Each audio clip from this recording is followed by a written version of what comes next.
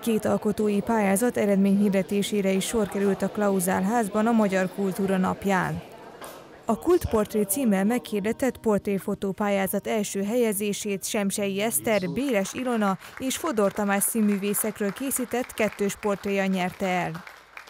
Fotózással közel tíz éve foglalkozom, főiskola után kezdtem el fotózni, mint műszaki informatikus mérnök, de szerettem volna egy olyan munkát, amivel kicsit közelebb kerülök az emberekhez, és ezért kezdtem el fotózni. Itt Budafokon alakítottam ki a műtermemet, elsősorban portré, üzleti portré, családi portrékat készítek. A pályázatra megmondom őszintén, az újságba olvastam, hogy lehet jelentkezni, és mivel én a Pesti Magyar Színháznak a társulati fotóit készítettem, még jó pár évvel ezelőtt, dolgoztam már nekik többször, és tulajdonképpen ott voltak a képek a meghajtómon, arra várva, hogy ide kerüljenek. A Székek című színdarabhoz készítettem el a plakátot, a fotózás során több kép is készült, az egyik ment a plakátra, de még több jó kép maradt nekem otthon a fiókomba, és arra gondoltam, hogy beküldöm az egyiket. Az állóképi alkotások mellett mozgóképes műveket is várt idén a Művelődési Ház. Most is két témánk volt, mint tavaly az előző pályázatnál. Két kategóriánk volt, az egyik Petőfi 200-hoz kapcsolódott, a másik pedig a Madács 200-hoz. Az ember tragédiájából volt egy részletünk, a mondottam ember küzd és bízva bízzel. Idén szerintem a második kategóriánk volt a kedveltebb, ami Petőfi Sándor Egyráérünk arra még című mondatához kapcsolódott.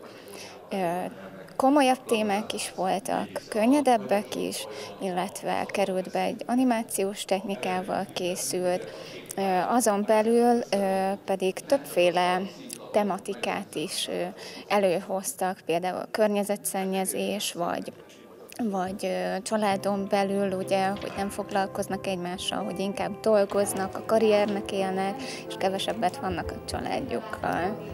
Idén is ugyanaz a két zsűritagunk volt, Urbiák István, dokumentumfilmrendező, a másik csapatunk az időkép meteorológiai portál volt, ők is többen nézték meg az adott filmeket, és ők is leadtak egy értékelést, amiből összejött a, a végső döntés a helyzetekről. Ezen kívül még partnerünk volt az RTL Magyarország is, aki szintén díjat ajánlott fel.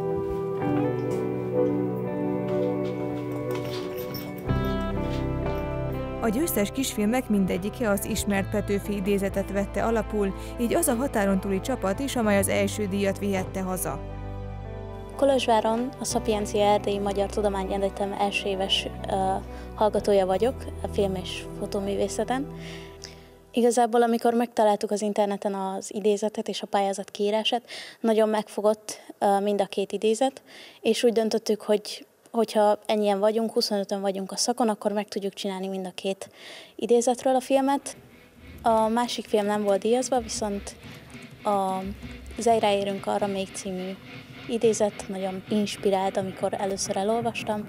Igazából úgy kezdődött az egész, hogy elolvastuk a pályázat kiírását, és nekem több ötlet, forgatókönyv verzió meg volt a fejembe, csak így nem álltak össze egyé, és páran kimentünk a csoportból, és itt született meg a teljes ötlet. Utána én papírra vetettem, és utána elkezdtünk forgatni. Két napon keresztül forgattunk, különböző helyszíneken, és nagyon, nagyon jó érzés volt, hatalmas élmény volt, hogy forgattunk, nagyon vicces pillanatokon mentünk keresztül, az egész banda nagyon beleélte magát a dolgokba, és nagyon örülök, hogy velük dolgozhatom együtt. Szia, apa!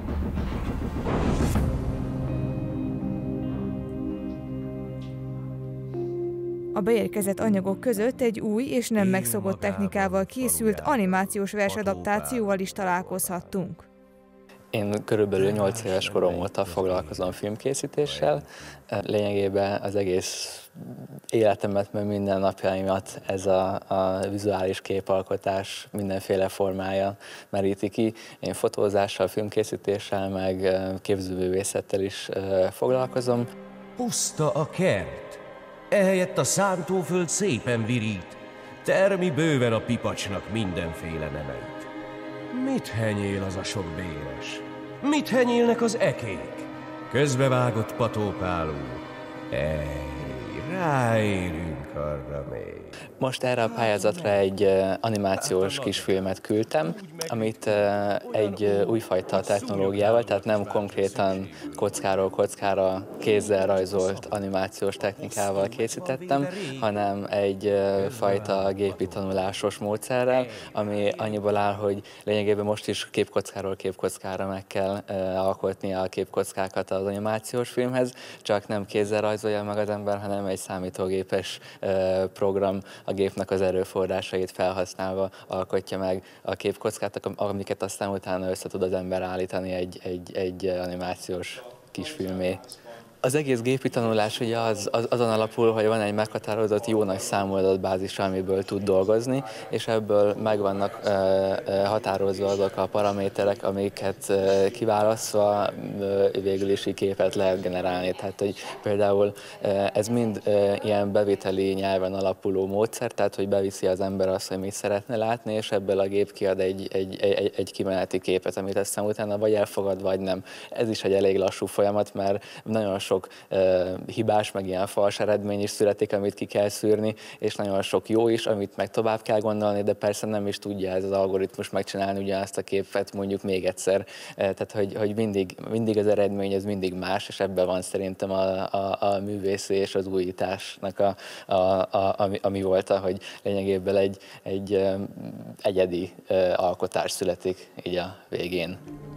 Életét így tegriálta.